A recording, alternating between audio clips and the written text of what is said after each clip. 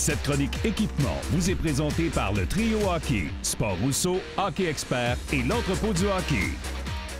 Bonjour Eric, cette semaine, euh, écoute, depuis le début, là, je t'ai réussi quand même à me surprendre une couple de fois, là, mais, mais là, euh, tu m'arrives avec des semelles. Moi, les semelles, moi, je fais de la course à pied. Fait que les semelles, c'est correct, là. Euh, super feet, moi, pour la course à pied, ça va. Mais ça. les patins, c'est la première fois que j'en entends parler. Ah ouais. Mais c'est c'est souvent, c'est souvent un item qui est négligé quand on fait l'achat de patins. Ben oui. Puis c'est tellement important. Puis Le transfert d'énergie, là, cette insertion dans ton patin, ça fait toute la différence.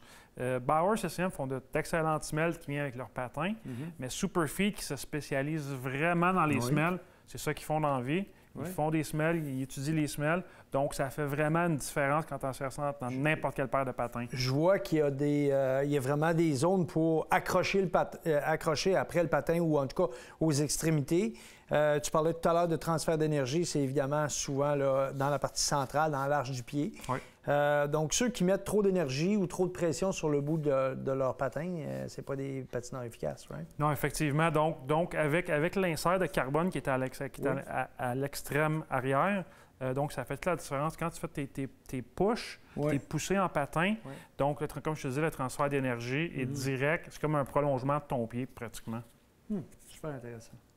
Alors ici, euh, euh, Éric, tu nous amènes euh, des lames, on compare des lames. Euh, carbone, euh, ils sont pas la même couleur, pas de la même forme. Euh, il y en a évidemment il y en a une qui vient d'une compagnie, une de l'autre. Parle-nous un peu des, des caractéristiques de chacune, puis pourquoi choisirais une plutôt que l'autre. là? Bien, en fait, en fait la, la LS5 que tu as en haut, celle en carbone, c'est Ouais, avec les patins. Bauer haut de gamme. Euh, C'est une lame qui, est vra- qui est en carbone, donc il y a une, me- une meilleure grip sur la patinoire. LS5, elle, ça, ça, c'est vraiment, euh, en tout cas, dans la Ligue nationale, on en voit beaucoup, là, des LS. là. Exactement. Puis, puis tu en vois de plus en plus des lames de couleur noire, parce que la, la- la couche qui est sur, le dessus de la lame est différente des lames comme LS3 ou LS2. Euh, donc, beaucoup plus d'adhérence, euh, très durable.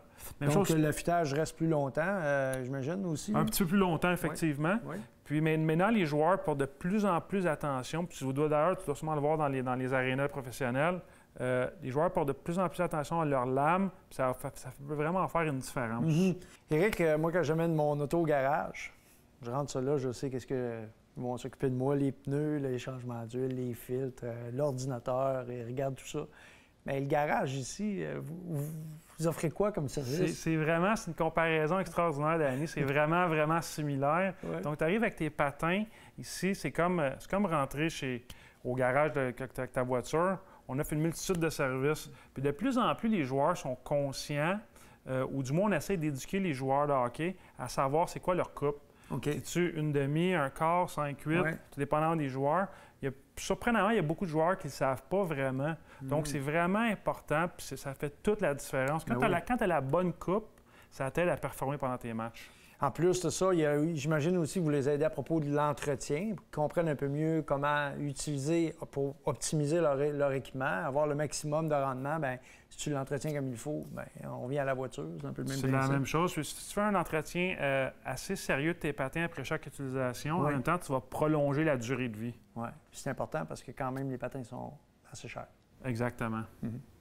Et euh, Eric, la semaine prochaine, on va parler des sacs d'équipement, euh, d'entretien d'équipement et d'hygiène parce que quand même, c'est quand même un, un enjeu assez important là, avec euh, les, fameux, les fameuses poches de comme on les appelle. Exactement.